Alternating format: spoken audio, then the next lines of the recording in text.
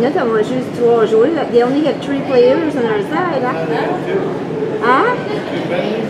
Non? Not from up there. Il y a trois jouer là, jusqu'on.